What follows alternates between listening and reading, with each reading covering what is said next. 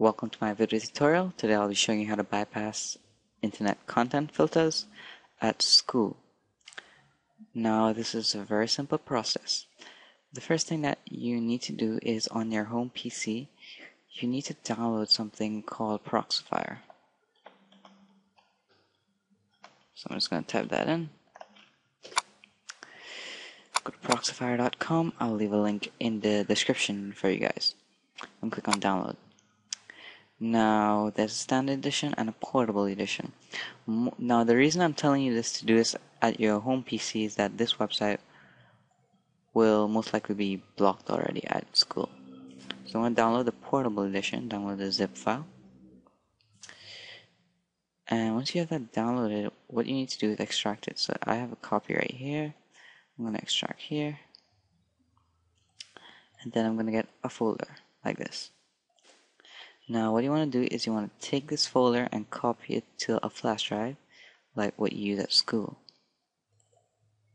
So you just place this in a flash drive. Now let's set it up. You want to double click on Proxifier. Now on your icon tray you're going to get this little gray box. You want to double click on it.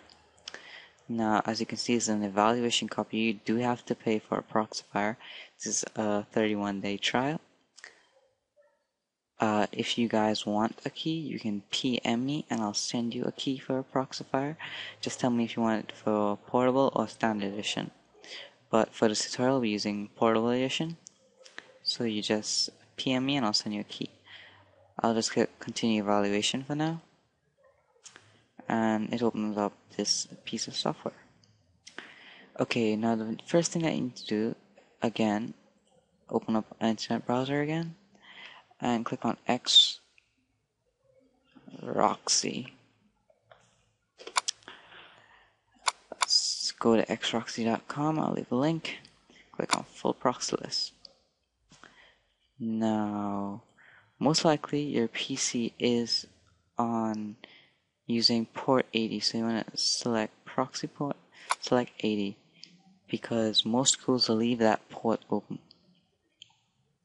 So as you can see I have all the port 80 opened. You want to select something that's close to you, the closest possible proxy server available right now is the United States. Okay, so I want to click on view, proxy checker. Remember, you're doing this all at your home PC, you're setting it up and when you transfer it to your flash drive, you'll be able to use it at school because these websites will 99% show that these websites are blocked at your school.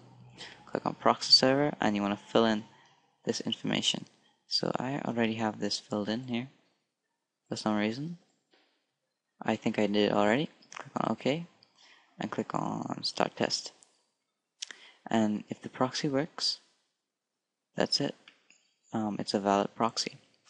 Now you want to click on view sorry, options, proxy settings, and click on add, and then you want to type in the proxy that you tested that works. So I try the first one here, you want to type it back.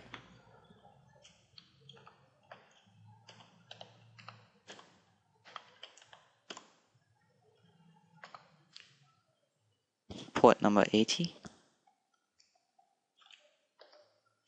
And then for the version, you want to select HTTPS because this is a HTTPS proxy that I'm using.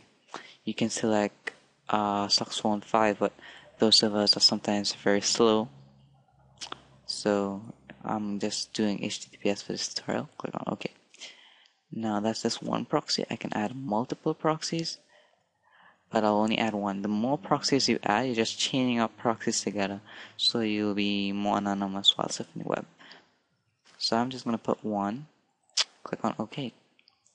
I'll click on options one more time, clicks on proxification rules, and then you want to make sure process all except the following. So that means anything that you open up that has to do with an internet connection will uh, work. So let me just show you guys. If I open IE, bring up this, uh, processes are now occurring right here. This is uh, what's going on. So this is working. through the proxy that I set up. If you type in an invalid proxy, or yeah, if you type in an invalid proxy, like example, edit that, let me just cut that out, and I type in some crap like, click on OK, OK one more time, exit that, and I re and I relaunch it. It's not going to connect to the internet. The reason is because when I launched, it launched the application through Proxifier, and because I typed in an invalid proxy, it's not gonna work. See, in Explorer, cannot display this web page. So that's a simple tutorial. Let me just fix back my proxy. Edit. And paste. Okay. And let's see if it works. Works, okay. So that's just a simple tutorial on how to bypass content filters at your school and place of work. Remember this is using Proxifier Portable Edition. You can send me a PM if you need a key to Proxifier. Okay, so that's pretty much a tutorial. Once you have set up Proxifier, you want to go like copy it to one of your flash drive or something and plug it in at school. Then from school, you just launch this up. The reason why I told you guys to select portable edition is because uh, it doesn't require any administrative rights to launch this. So I hope you guys enjoyed this tutorial. And remember, if you need a key for Proxifier, just PM me. I hope you like this video. Remember to rate, comment, and subscribe to my channel. Thanks.